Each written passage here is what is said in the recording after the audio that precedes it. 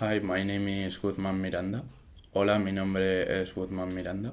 Uh, to be far from my country uh, makes me to maturate more and makes me to to be better person and make new friends and also I think uh, make me have a winner mentality.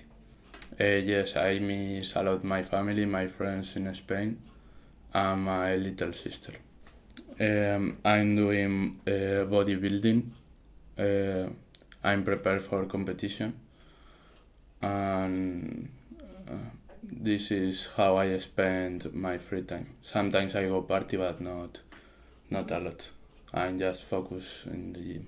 Something that I like. Yes. The girls. The Slovak girls.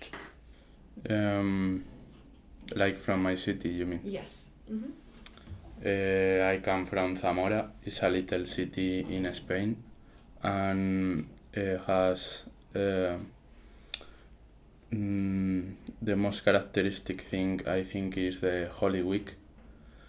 That uh, I don't know if you know what is this. It's like now in in April.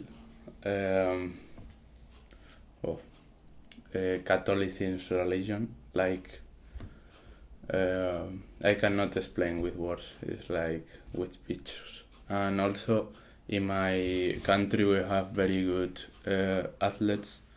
In canoeing we have some world champions uh, in canoeing sport.